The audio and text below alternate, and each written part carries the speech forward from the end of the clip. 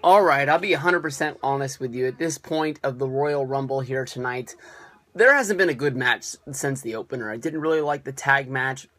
I didn't really like the United States title match, and the Divas match just came out here, and it was a snore. Of course, it was Charlotte going up against Becky Lynch. Uh, the story of the the whole match was basically that Charlotte is now a full blown heel, and that uh, Charlotte is the new dirtiest player of the game with Ric Flair um, on the outside. Uh, basically, you know, there was nothing uh, that they wouldn't do uh, to try and gain an advantage of this. They really tried to portray Becky Lynch as the ultimate underdog uh, coming into this match. And uh, basically, uh, oh my God, Sasha Banks just came out. Are we going to do Sasha versus Charlotte? Oh, this is gonna be good. Uh, right here. All right. Looks like we're gonna get a stare down, and maybe Sasha Banks is finally getting the push that we've seen that she deserves in the WWE for a long time.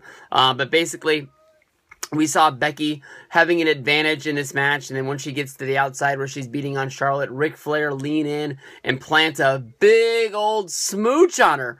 Uh, he, I guess he couldn't hit her, he couldn't touch her in any, any way, so this is just one way to get her uh, advantage of this, and Charlotte was able to capitalize and throw uh, Becky back into the ring, uh, where Becky, uh, or I'm sorry, where, where Becky would try to get back in the ring herself, and Charlotte would go for the uh, the low blow um, to the gut uh, one thing that was going on during this match a lot was that basically um, Becky Lynch was having a lot of problems with her boots. Uh, there was a, there was a lot of flair on these things, a lot of buckles, a lot of strings, a lot of this, that, uh, and the other, um, and, uh, and, and, and they just kept on like you know basically coming off, and she had to basically stop the match and be able to uh, do what she was doing. You know, at one point in the match, Becky finally locked in uh, the arm bar uh, where Ric Flair jumped up on the ring and, and he threw his jacket onto uh, Becky Lynch, uh, and that was the disqualification that was needed uh, for Charlotte to reclaim her championship.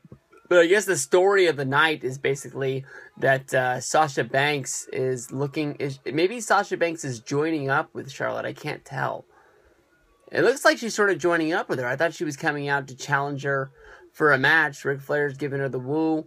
I think we're going to have to see more to come from this, but it looks like Team Bad is officially split, and Sasha's now getting that push that we've been looking forward to her for, for coming to NXT for a long time.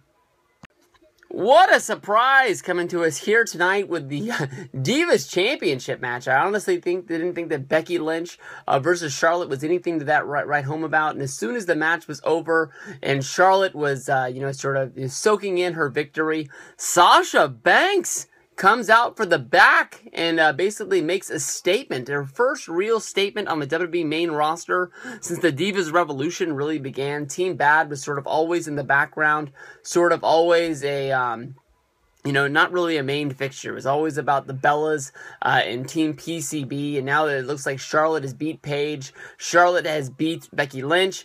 Now Sasha Banks has come out, and it looked like she was almost sort of recreating uh, their their um, stable that they had in NXT, where basically they gave respect to each other.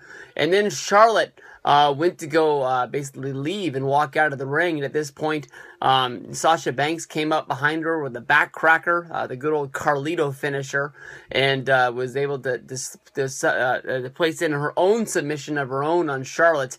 And it looks like Sasha Banks has stamped her name to be the next contender to go after the Divas Championship. This is a really big step for Sasha. Basically, since being called up, she hasn't been able to, to do a whole lot of the main roster. But Sasha versus Charlotte has me uh, pretty fired up.